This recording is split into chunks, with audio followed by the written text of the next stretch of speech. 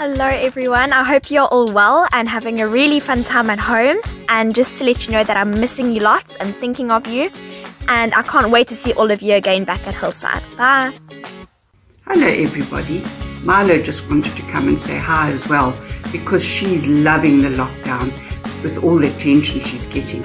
I'm not enjoying the lockdown because I am missing you all so very much. But please keep safe and remember, I love you lots. Bye. Hello, everyone. I hope you're having a lovely Sunday so far. Just a quick hello, and I wanted to send a message saying, Well, well done. We're still in lockdown, and it's not easy. It's never been done before, but we are all doing the best that we can. Just remember to be kind to yourself, kind to your family, and when days are getting tough, just take one day at a time and remember that Daddy God is always with us. Okay, lots and lots of love. Bye bye. Hello, boys and girls. I hope you've all had a wonderful week. I've been thinking about all you Hillside children that are doing online schooling at the moment. I think that your teachers are so clever and super cool to be teaching you like this. It's almost like having them in your house. So, when you think about your teachers, what sort of things do they do for you? They teach you new things, they show you how to do things, they talk to you, and most of all, they care for you. Do you know who the most incredible teacher is of all time? Yes, it's Jesus. And when Jesus was on earth, he taught everyone about God.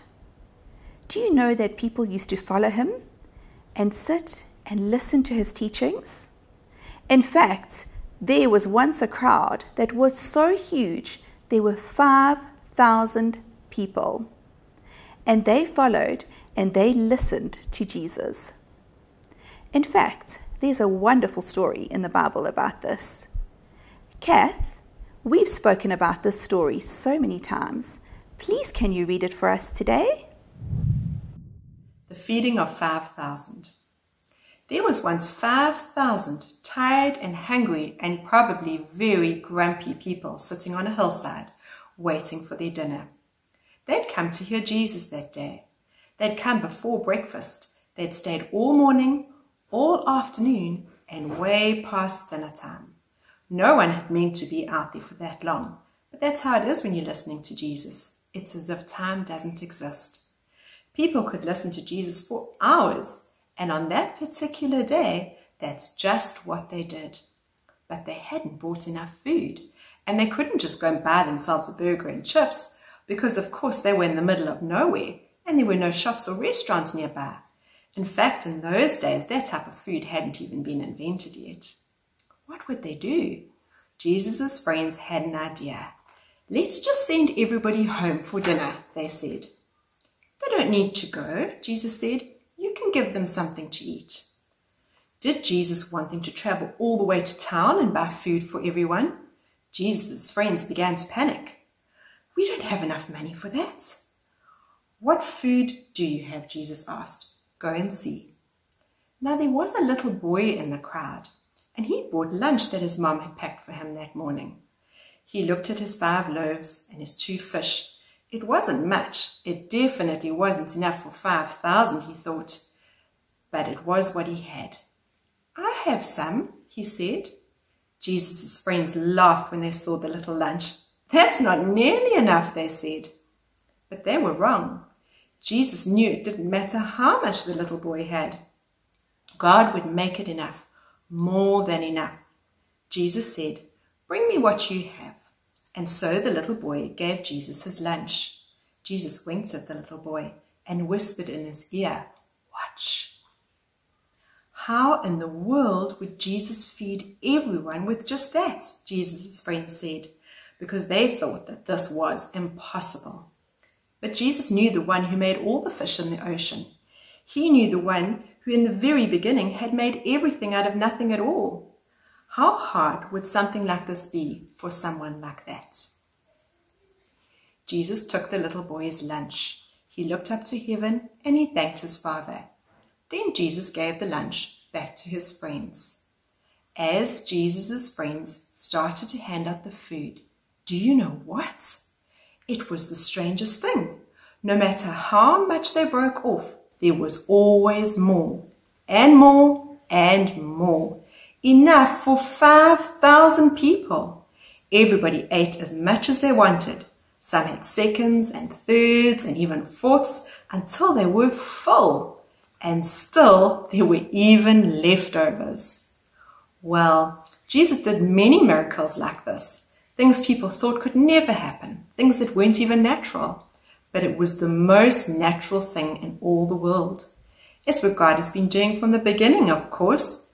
He takes nothing and he makes it everything, takes emptiness and fills it up.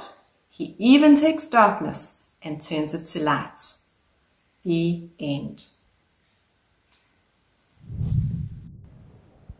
Thank you, Auntie Kath.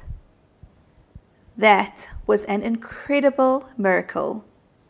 And you know, that story shows me that if we allow God to get his hands on our stuff, he can give us an abundance of blessings, an explosion of blessings. So, this story is also teaching us that God is our provider. He provides for us. What does that mean? It means that God gives us everything we need plus more. Just like He provided for the crowd of 5,000.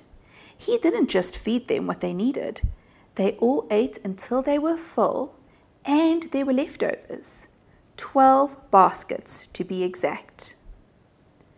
I love how this story shows Jesus' heart towards us.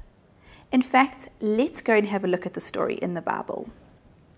So, if you have your Bibles with you, if you can turn to the book of Mark, and Mark is in the New Testament, we're going to go to Mark chapter 8, and we're looking at verse 2 to 3. This is Jesus speaking to his disciples.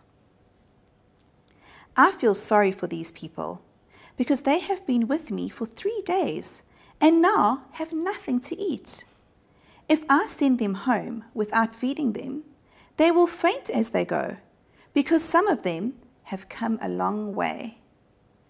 So, kids, can you see how Jesus cared for them? He was so concerned that they hadn't eaten. That just shows how much He loved them and how much He loves us. As much as He cared for them back then, he cares for us exactly the same today. So Jesus multiplied that food, which means that he made more and more and more of it. I wonder what that must have looked like. Can you imagine being there? Well, I've got an idea. Why don't we do a little activity to help us understand this better? Hello, girls. Hello, Mom. Hello, everyone. Thank you for being with me again today. So, what have you brought with you? I brought some paper. And you, Liz? I brought a pair of scissors. Awesome. So, kids, all we need for today is a piece of paper and a pair of scissors. So, Molly, how many corners does this piece of paper have? Four. That is right. It has four corners. So, what if I needed to give somebody one of these corners? Let's say I'm going to give this corner to you, Molly. How many corners do we have now, Luce? Five. We have five corners. So you see, the more times Jesus divided the bread and the fish, the more food he had to give everyone. So now we have five corners, and here on this piece, we have another three corners. And look, if I cut it again, now we have whoop, six corners. And the more I cut the paper, look here, the more corners we're going to have. Just like Jesus multiplying the fish and the bread, can you see it just keeps going and going and going? Can you see that, girls? Yeah. Hey, lots of corners for everybody. So that gives us a little bit of a picture of how Jesus multiplied the fish and the loaves for everybody to share. Yeah. Isn't that an incredible story? Yeah. And don't you love that it was a little boy? That Jesus used a little boy for the story? It wasn't a grown up who was fancy or who had lots of things. It was just a little boy with his lunch. And God can do something with something little that you have too. So thank you, my girls, for coming to help mommy today. It's a pleasure. So, kids, Jesus can take what we have and turn it into marvelous things to bless others through us. Do you remember learning about faith? Well, when God takes our faith and His power and He puts it together, He creates amazing things. And God wants you to know that He can provide for us in every way, even when it may not seem possible to us. Let's have a look and see what He says in the Bible about this. So, if you can grab your Bibles, we're going to turn to the book of Philippians, which is in the New Testament, and we are going to chapter 4, and we are looking at verse 19. And with all his abundant wealth through Christ Jesus, my God will supply all your needs. It says it right there that God will supply all our needs. Today, we have our precious Granny D to pray for us. Thank you, Granny D. Praying is very important because that's a time we communicate, that means talk, to Jesus. Prayer is also a way to build our faith. So let's pray. Thank you, Jesus, for your compassionate heart. You care for us all the time. We know this because we can read how you cared and fed 5,000 hungry people who'd been listening to your teachings for three days. Father God, we think of all the ways you provide for us. Even during this lockdown time, we know and feel your amazing love for us. We can count the blessings you pour down. Please fill us and our families with your love, joy, and peace. We ask in your precious name that you keep us safe. Amen. Thank you, Granny D. And thank you, amazing children, for being with us today. I hope you have a wonderful week ahead. And please, please, please, we would love to hear from you on our class WhatsApp groups. Please keep us posted on how you're doing. If you've done the object lesson, or if you have a story to tell us, or more importantly, we would love to hear a testimony of how God has provided for you through lockdown. Have a great week, everyone. Lots of love.